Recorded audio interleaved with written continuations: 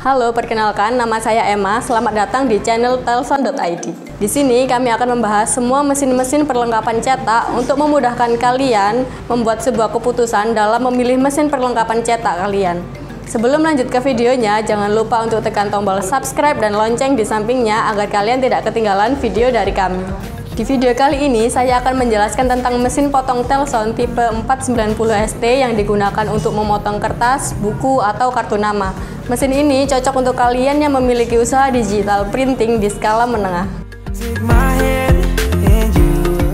Untuk ukuran mesin kerjanya sendiri memiliki tinggi maksimal 8 cm, lebar maksimal 49 cm, dan panjang maksimal 49 cm. Berikut adalah beberapa pertimbangan sebelum kalian membeli mesin potong ini. Yang pertama adalah double poros, double motor, arah turun pisau, roda penggerak kertas, setting kedalaman pisau, layar touchscreen, dan dimensi mesin. Nah, mari kita bahas satu persatu. Nah, kalian bisa lihat besi yang ada di sini berfungsi sebagai penggerak kertas untuk maju dan mundur. Besi ini dikunci di kiri dan kanannya. Jadi untuk bergerak maju dan mundur, besi ini digerakkan oleh poros yang berada di sisi kiri dan kanan secara bersamaan. Itu membuat hasil potong ujung kiri dan kanan menjadi sama dan presisi. Lain halnya dengan mesin potong yang mempunyai sistem satu poros. Mesin potong yang mempunyai sistem satu poros akan sangat rentan miring karena digerakkan hanya pada satu titik. Terlihat pada besi penahan tidak ada penguncinya di bagian kiri. Begitu pula dengan sebelah kanannya tidak ada penguncinya. Satu-satunya pengunci hanya ada di tengah.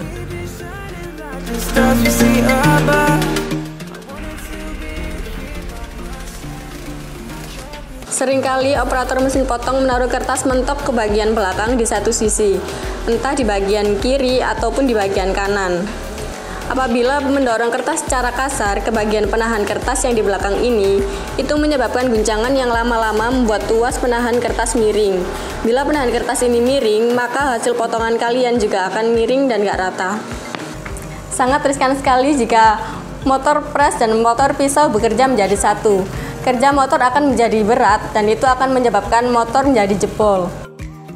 Nah, keunggulan pada mesin potong tipe 490 ST ini adalah memiliki motor press dan motor pisau yang terpisah atau sendiri-sendiri.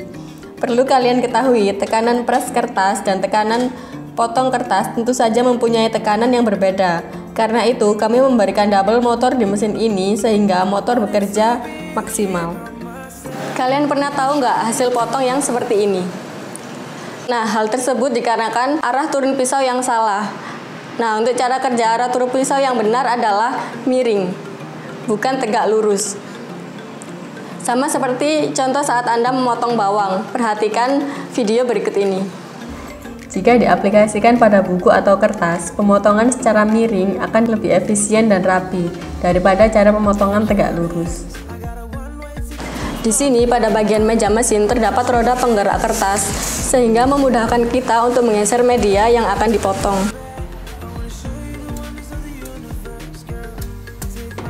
Mesin potong 490 ST ini dibuat untuk mempermudah usaha kalian baik untuk memotong kertas, buku, atau kartu nama.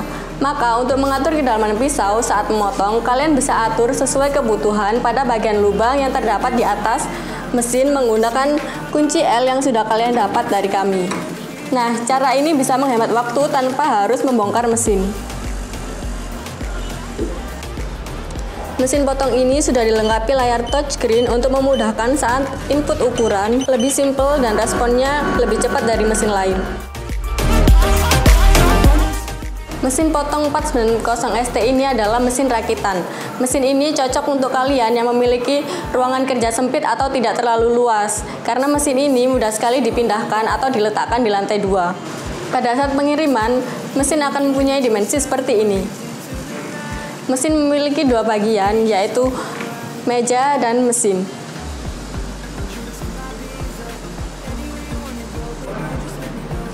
Setelah dirakit, area kerja mesin ini akan memiliki ukuran lebar 85 cm. panjang 105 cm dan tinggi 135 cm. Dalam jangka waktu yang lama, biasanya akan terjadi kerusakan pada mekanik mesin. Misal, as pada pegangan pisau patah, dan itu sangat berbahaya, karena pisau bisa turun secara tiba-tiba dan melukai tangan kita. Nah, pada mesin ini sudah dilengkapi dengan safety module atau pengait pisau, sehingga secara otomatis pisau tidak akan turun sendiri, jadi mesin ini sangat aman. Keunggulan lain dari mesin ini adalah sensor. Kegunaan sensor di sini untuk keamanan atau safety yang terletak di sisi kanan dan kiri mesin. Nah, untuk cara kerjanya, jika ada tangan yang melewati sensor ini, maka otomatis mesin akan berhenti bekerja dan sangat aman sekali.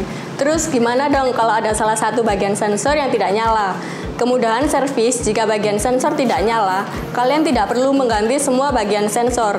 Kalian hanya perlu mengganti pada bagian sensor yang trouble saja. Nah, cara mengetahui bagaimana sensor yang trouble adalah pada bagian display, sensor terdapat ada 6 angka yang ditunjukkan dengan angka 0, 1, 2, 3, 4, dan 5. Bila sensor nomor 3 trouble, kita hanya mengganti sensor nomor 3 saja.